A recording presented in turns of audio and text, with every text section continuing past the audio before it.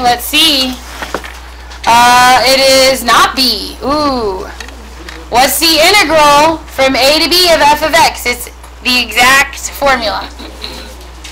f of which one comes first? b minus f of a. That's d. Look. Okay, remember integral a to b of f of x dx is capital F of b, capital F of a. And then remember that capital F is the antiderivative of little f. Do y'all remember talking about that?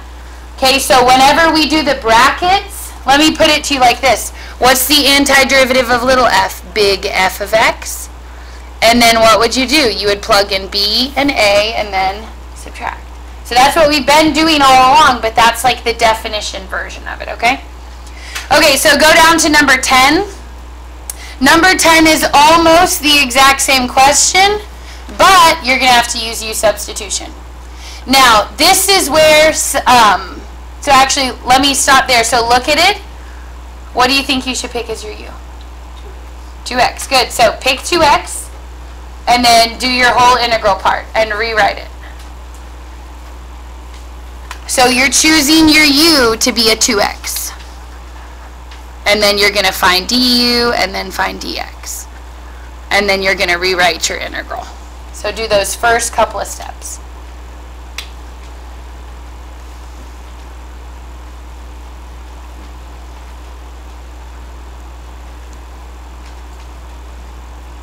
Okay, so if it's a 2x, what's the derivative?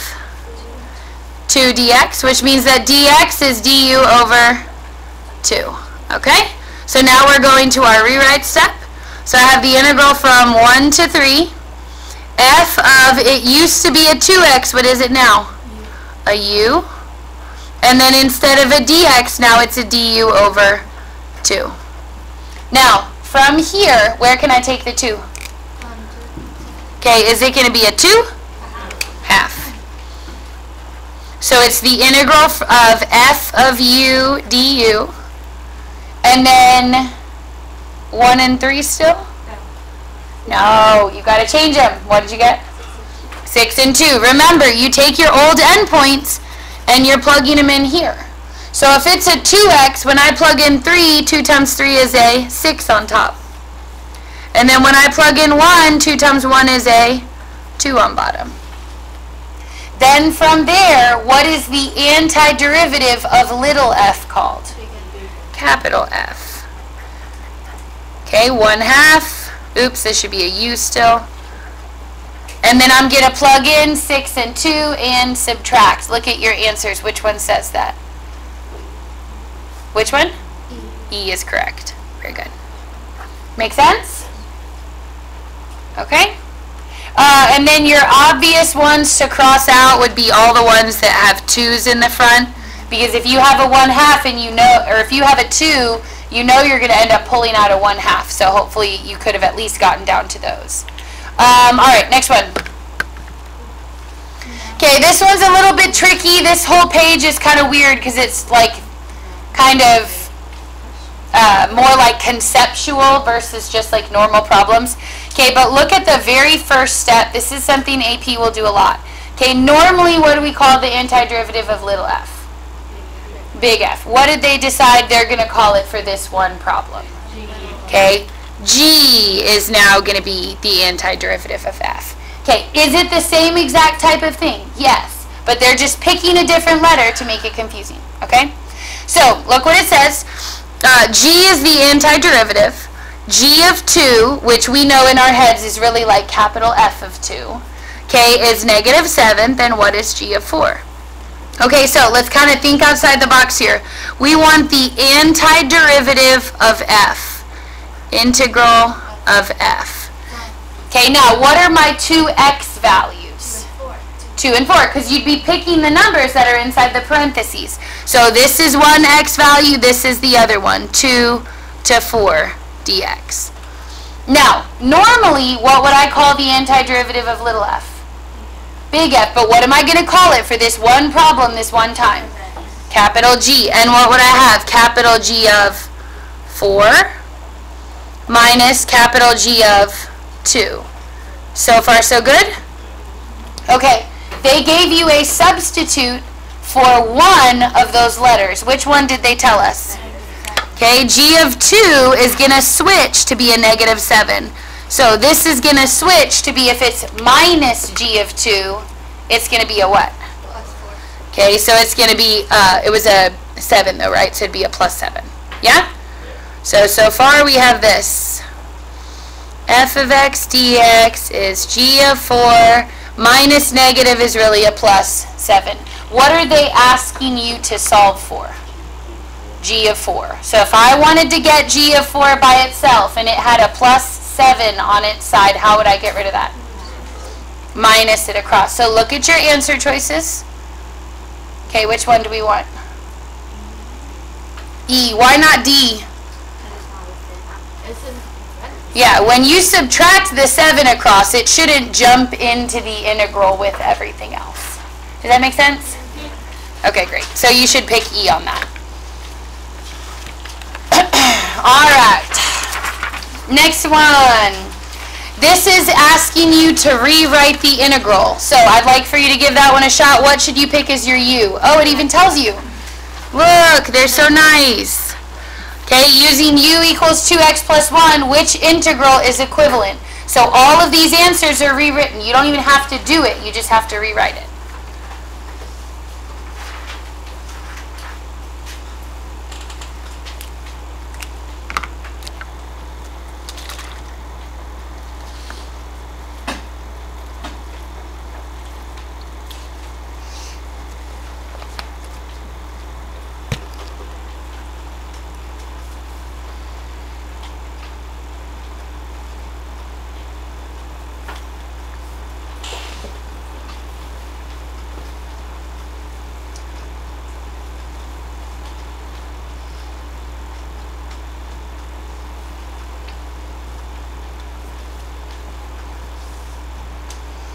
Okay, then look at your answer, see if your answer's there.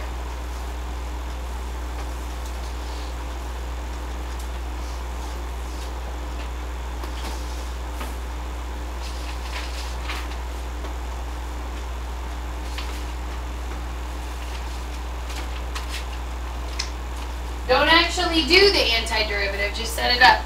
Okay, which one are y'all picking? I see lots of C's and lots of B's on y'all's papers. What's the difference? I think it's C.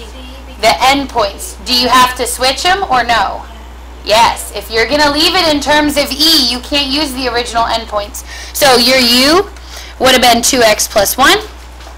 du is 2 dx, which means that dx is du over 2. So it looks like most of y'all got that 1 half on the outside.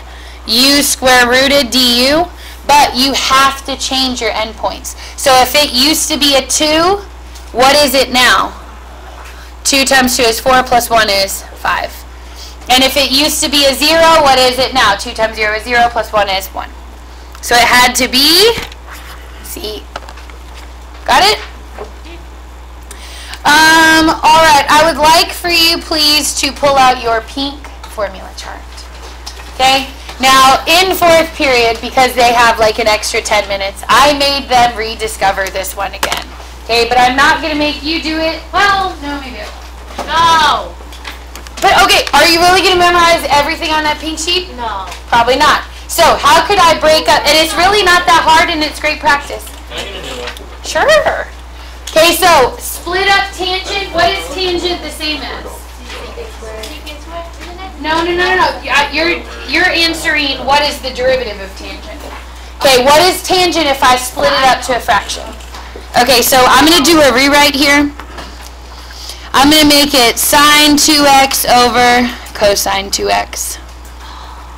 Okay, and here's why. I could give you a fish or I could teach you to fish.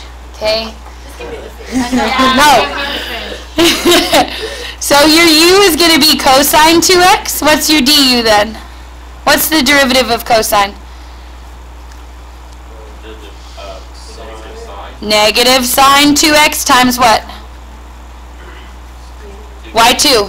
What rule is that? Chain rule, yes. Okay, then from there, dx on end. Got to get our dx by itself. So it's a negative 2 sine 2x. It used to be on top, so now it's on the bottom. Okay, do your rewrite. And what's going to happen with your sine 2x's as usual? They're going to cancel out. So I have sine 2x on top. On bottom is my u. And then I have a du over negative 2 sine 2x. What constant is going to move to the front? Negative a half. Okay, negative a half. And then what's left over is a u. One over you. 1 over u du. And remember, we have an, a rule for that. 1 over u is not a rewrite. What's the integral? So negative 1 half ln u. Don't forget your absolute value bars. And then what was our u originally? It's a negative two sine. Or no. That one. Look on your paper. What is u? Cosine two. cosine 2x. And now that I've already made you get out your sheet, you see that's a rule on there. I think it's on the bottom of the first column. May I borrow? Okay, right here, look. Negative ln cosine u. Negative ln cosine u. Okay? So, but if you're not going to memorize that, then you should be able to pretty easily figure it out if you need to on the AP test. Okay? So what answer is that? E? Yes. Number 10 on the integral side. Why could you not just do tangent and go through there instead of breaking it up into a So if you memorize the integral for tangent, you can do that. But if you're not going to memorize it as this rule number 10, No, no, I mean like you went from tangent to sine over cosine. right? Yes. Why can't you just do u as tangent to x? Because what's the derivative of tangent 2x? Secant squared 2x, and there's not another secant squared to cross out with that. Okay? Um, so we are going to skip this page for a second and come back to it. We're going to do the word problem on the back next. Okay? It's a nice little review. Okay? Who wants to read it for a candy? Oh, oh no. No one? I'll give you a candy to read it. Which candy? What type of Okay. It, Bambola. there are Laffy Taffies. Okay. Okay, I'll sweeten the deal to peanut butter crackers. I'll read it because I'm hungry. Okay, great. Karen rides the, uh, her bicycle along the straight road from home to school. Starting at home at time t equals 0 minutes and arriving at school at time t equals 12 minutes. During the time interval 0 to 12 minutes, her velocity v of t in miles per minute is modeled by piecewise linear function whose graph is shown above to the right. Perfect. Okay, so first question, what I would always do is relabel your graph. What is in our graph? What is it? Position, velocity, acceleration. Velocity. Okay, velocity. What is it measured in? Minutes per minute or miles. Miles per minute. Very good. What is on the x-axis? Okay, time, which is measured in Minutes. Okay, good. Time measured in minutes. Okay, so part A says to find the acceleration. If this is velocity, what is acceleration? Okay, so y'all jumped right to the answer, but acceleration's the derivative, which is a slope. So go to 7.5 on your graph, count the slope. It is a trick question, so make sure you count carefully. 7.5 is between 7 and 8. It's a straight line. So the acceleration at 7.5 is the rise over run of that line. Is it negative 1? No. No, look at the axis. They, they could have tricked you. Negative 0.1 over 1. Now, indicate units of measure. A lot of y'all missed this on your test. If it's acceleration, automatically, what are your units if this is miles per minute? squared. Wait, how did you get negative point one? Miles per minute No, squared. Like, where's that point one at? Do you look at the axis count? It's 0.1, 0.2, You don't do 0.3. this, you do the whole line, Helen. I know that, but I didn't look at the axis going. Yeah, so it, since they're decimals, you just have to count like that. Okay, so A should have been easy as long as you didn't make that mistake and miss the axis units. Okay, part B. Using correct units, explain the meaning of the integral from 0 to 12 absolute value of V. Is that displacement or distance? Distance. Distance is correct. Okay, why? Because displacement can be Magnitude. negative, distance can not.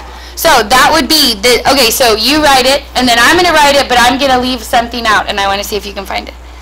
Okay, so you try to write it, and then look at mine. Distance, Karen, road, over. Yeah, do your, uh, do your own interpretation. Don't copy it. Try to write your own and then look at mine and see what you think is wrong with it. You can't read it? No, like I already looked at yours. Oh, you already looked at it? Okay, well then try to fix mine if you want to. I left one thing out that will make you lose your... units. Miles. I put minutes. No, miles. No. Yes, that is what a lot of y'all did on your test. You remembered these units. What is her distance measured in though? Miles. So you would be the distance in miles that Karen rode over 0 to 12 minutes. Okay, and then some of y'all on your test, which I'm hoping I have time to pass out, but I don't know. Okay, some of y'all just put over 12 minutes. That's also not specific enough, okay, because it could have been from 2 minutes to 14 minutes. It has to be the right 12 minute period, right? It can't just be any 12 minutes. So make sure you're being really specific on those. Okay, then we want to find the value of the integral. How are we going to do that? How are you going to find the value of the integral? The area. Yeah. Area. Okay, show me what shapes you have in your picture. Triangle, triangle, trapezoid. Okay, now do I care about those triangles? Uh, so they'll cancel out. Yeah, maybe. Now, actually, hold on. Let's talk about something. If it's distance, do I care about those triangles? Yes. Yes. Yes, you do. Now, when you find one of them, have you found both of them? Sure. Yes, but you do care about these triangles, okay? Now, if it weren't for the absolute value, they would have crossed out with each other. But in this case, they do not. Okay, look at the giant crap shape that you're left with. It's not a shape, but can it be broken up into shapes? Mm-hmm. Okay, so try a way of breaking it up. Try to figure out your own way before I'm going to show you mine. Because I want you to try. Because there are several different ways that you could break it up.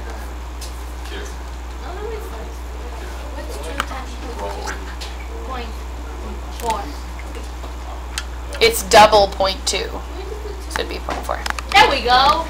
Okay, I do not think that you can break it up into less than three.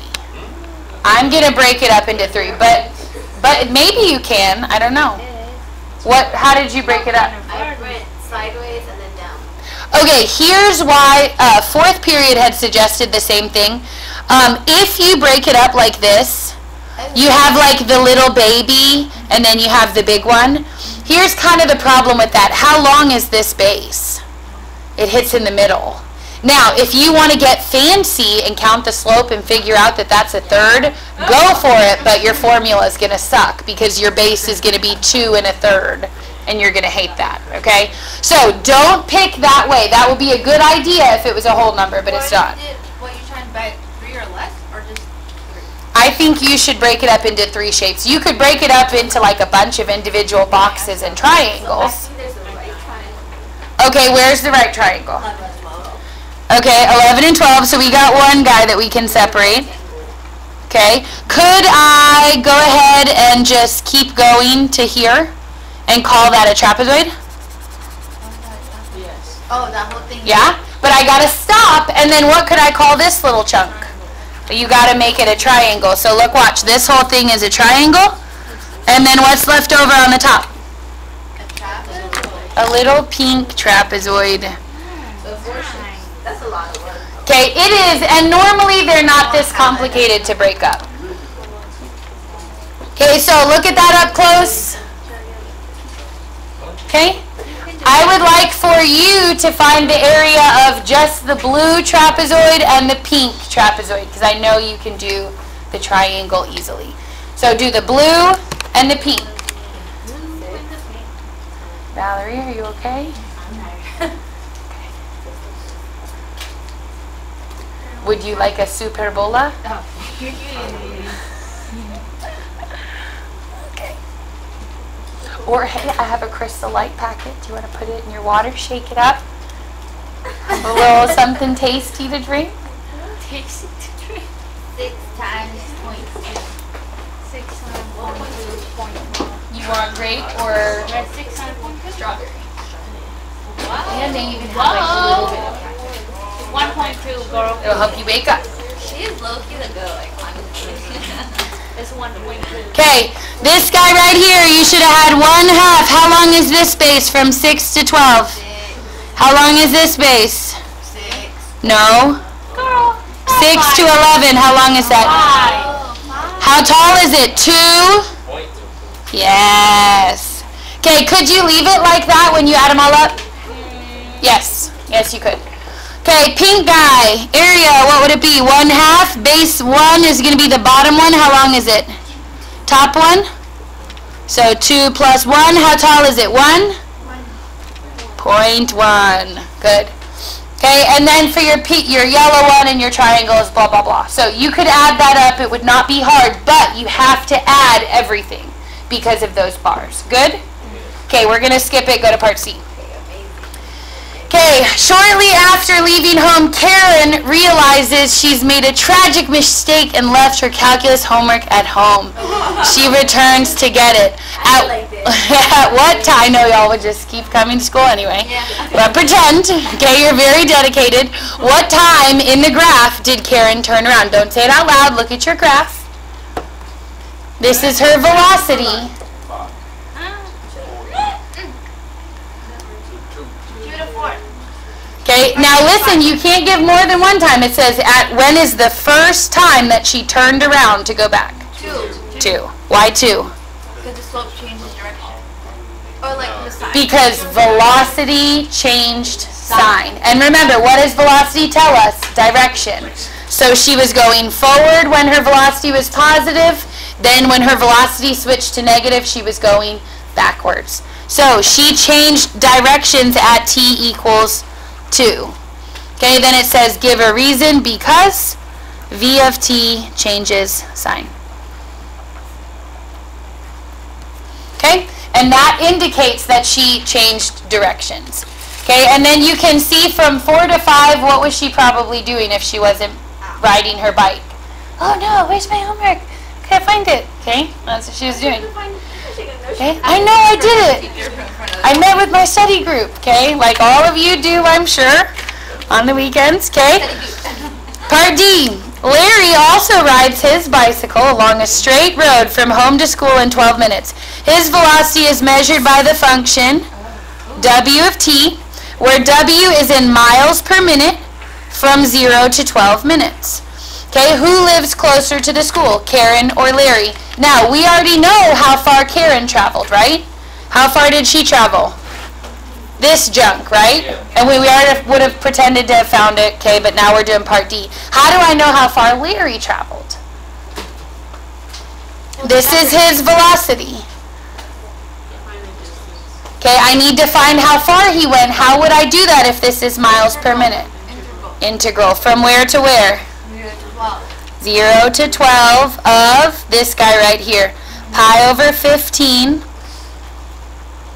sine pi over 12 t. Okay, so look at that integral. Remember, this is going to tell us how far Larry, what did he do? He drove? Oh no, he rode his bike too.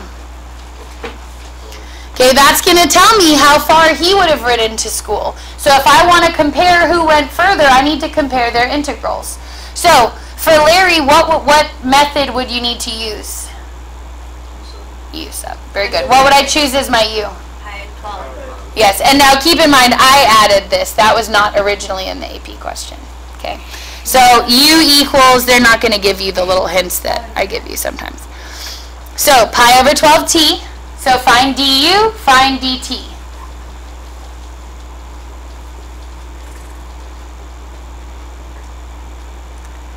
Remember, the derivative of a constant x is just the constant. So what's the derivative of pi twelfths t? Pi twelfths what? The, in this case, t. So then normally I'd want to get dx by itself, well then I'm going to get dt by itself. So that would be du multiplied by what fraction if I need to get rid of pi over 12? Reciprocal 12 over pi. Okay, let's rewrite our antiderivative here. So we have the integral of pi over 15 sine of u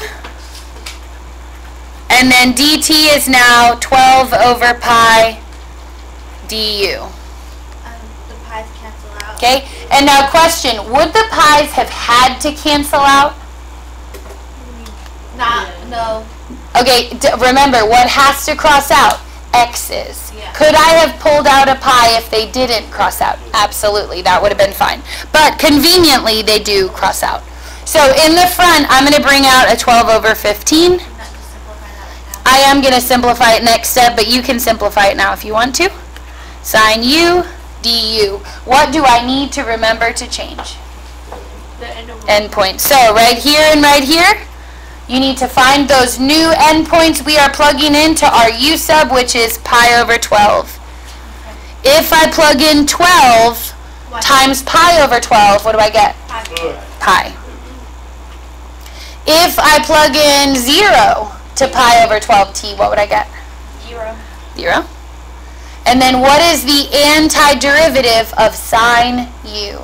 Negative. Good. Now I'm going to put the negative on the outside and I'm only going to plug in cosine u. Okay? Uh, yeah, I am going to put this in the front simplified, which would be 4 fifths. Okay, but that is the same, right? Okay, then I'm plugging in pi. What's the cosine? Let's do cosine 0 first. What's the cosine of 0?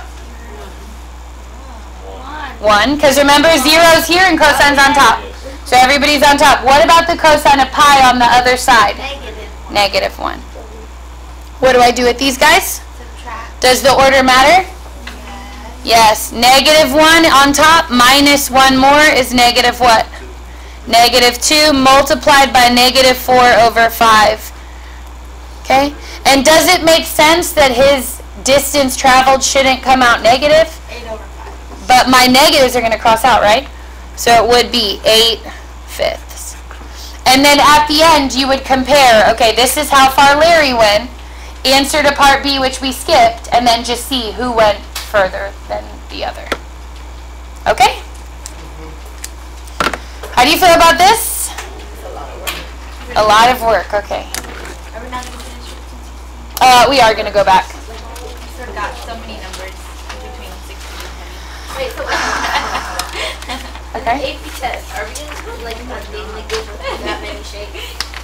Um, so this was an AP question, but most of the time, no.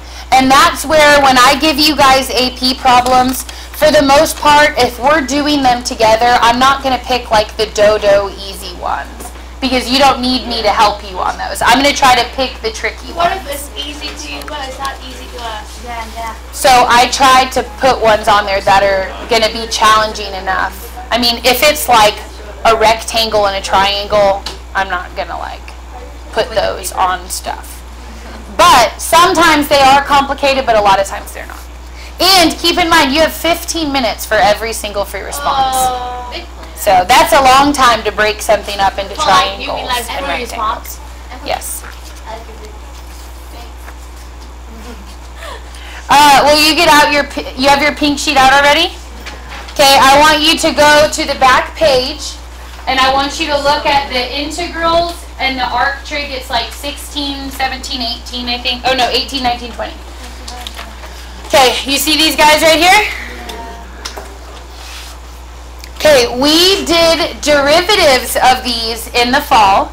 So now we're going to do integrals with these exact same rules. Okay, these are not that bad, but you will at some point, I would at least pick two if you're not going to memorize all three. The top two are pretty easy, but whatever. Okay, but for now, you have your sheet and you have it all the way till May. So, look at the first question. Which one does that look like? Rule 18, Rule 19, or Rule 20? 18. Okay, here's why it looks like 18. Number one, you have a square root, yeah? So that eliminates 19. It can't be 19.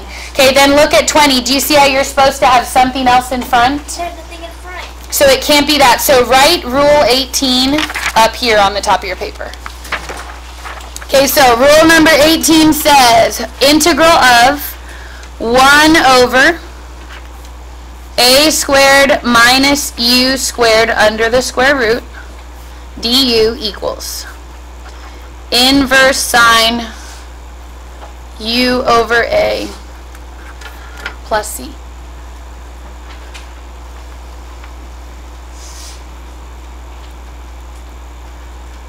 Okay, what do you think my a is if a squared is 4? 2 squared. Okay, yes. So if a squared is 4, what is a? 2. Okay, good. a is 2. Okay, now look at where u is. If u squared is x squared, what is u? X. Just an x. Now, if u is just only an x and there's not anything else in there, you don't even need u substitution. Okay, if it was like a 3x or an x plus 1 or an x squared or something, you'd have to do u sub. But here we don't. So, write your antiderivative. Inverse sine, we're using our rule. What is my u? What is over a?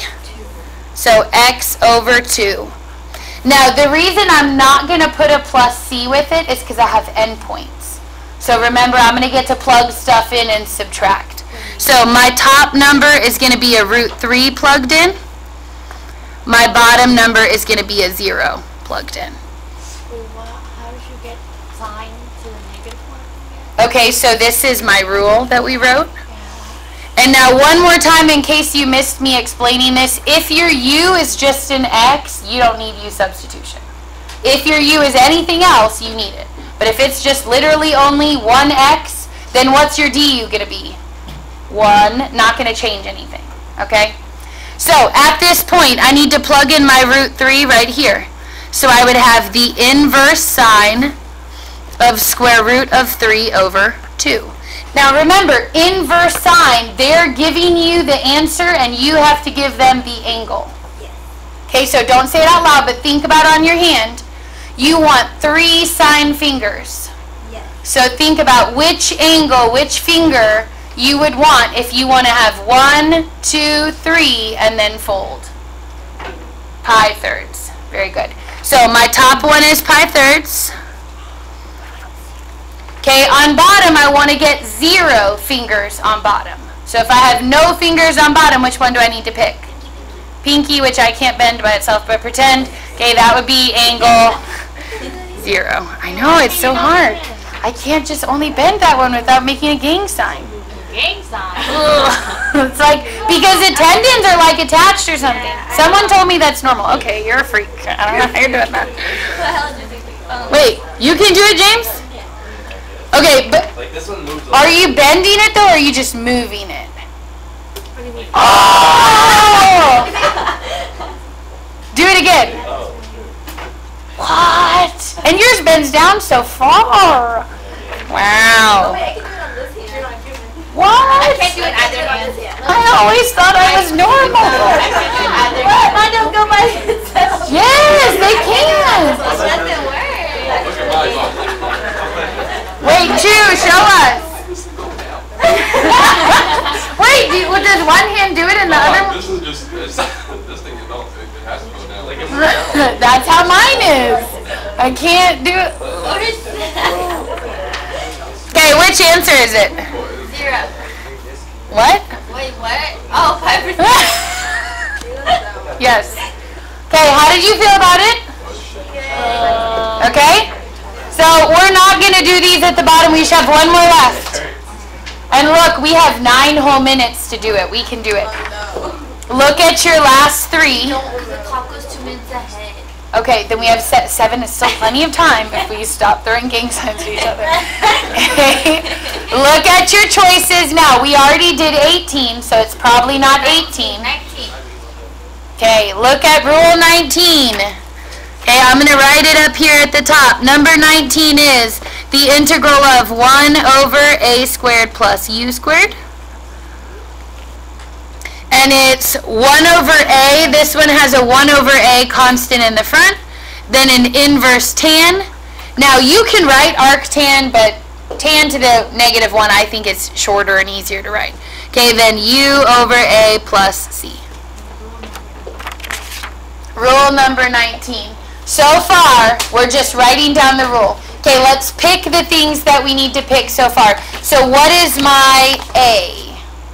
Oh, oh, come on. One. Yes. If A squared is 1, then A is just 1. Okay? So A is boring, 1. Okay, U is going to be what?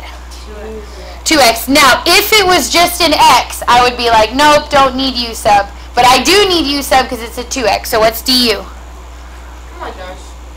2 dx. Oh, oh, I see. Which means that dx is what? du over 2. Okay, let's redo our integral. So I have 1 over, are y'all being, No, are like y'all joking? No, the you. You're tired of me? No.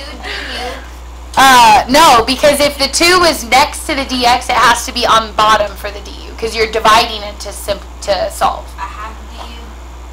A half du. Oh yeah, you could do that if you want. Okay. So then when I rewrite, this is still an a here. a squared, or actually let's leave it as a 1. 1 plus, okay, then this is now a u squared, and then I have du over 2. What is going to get pulled out to the front here? The half. The half. And now what is left over, this is really your a squared, but we know a is a 1. So you really could put an a or a 1, it doesn't matter. Okay, but then what's my formula? Look up at the rule we wrote. What's going to go in my box? Okay, don't skip the 1 over a, but what's 1 over a if a is 1? One. 1. So I do kind of get to skip it, but don't forget it still goes there. Okay, then inverse tan, Two x 2x over 1, which you don't have to write, but you can. Okay, and then no plus c because why? I have endpoints to plug into. Okay, now at this point, normally we would switch our endpoints, yeah? Yeah. Okay, however, did we leave this in terms of u or did we go back to x's? We go back. If you go back to x's, you have to use the originals. If you're going to leave this as an inverse tan u, you would have to switch them. So you can pick one, it doesn't matter. But since I went back to x, I'm going to use the same original guys. Okay? So we're going to plug in a half, then we're going to plug in zero.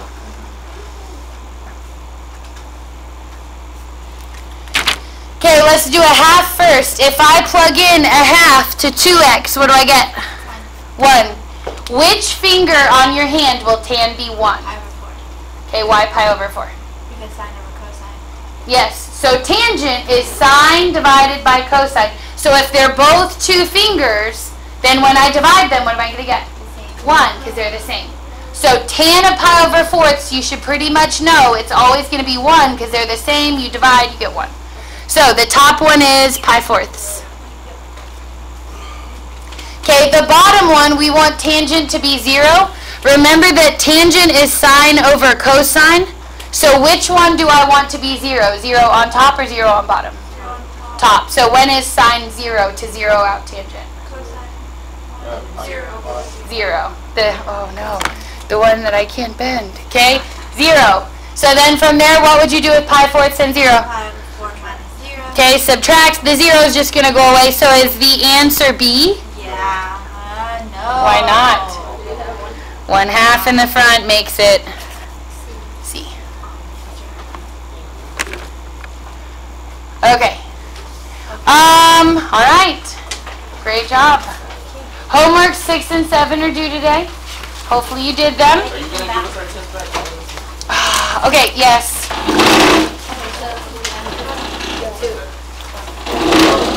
We just never have time for things, you know?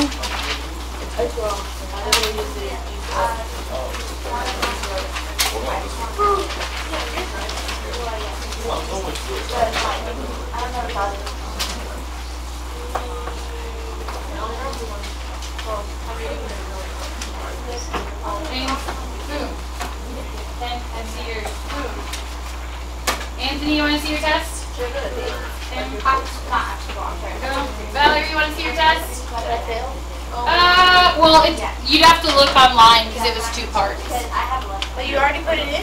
Yes. Well, I don't wanna see. Like, can we keep it? But yeah, I do. Wait. Uh, no, I mean, I need it back, but you can correct it and come look at it longer. Wait, what was, what's? Remember there was a take-home part? Mara, do you want to see that? So you did come on our test? Yeah. LOL. Okay, I never turned in that part because I wasn't here. Okay, so then your grade is going to be really low because you have a zero for half. Okay. So yeah, so you just need to do the other half. Emily, you want to see yours? Nora, you want to see yours? You never told me that you had to turn it in. I always forget to remove Monica, my- you wanna see my yours? ribbon. I just- I see what I- What is that? This is. Uh, uh, uh, what is it here? I don't think they- I got- I didn't go here. So Maya, you want to see yours? Okay. Kevin Kevin and hold on. This is a group quiz, right? No, you did it on your own. Oh. Wait, I can only. That's an I one. Okay, I'll just take those back for me on the way out. You just pack up your stuff. Unless we take it. Don't do that. Okay, if you do it, don't show Sean Everhart. Oh, no one sees it He anyway. didn't come to school all week and he still has to take this anyway.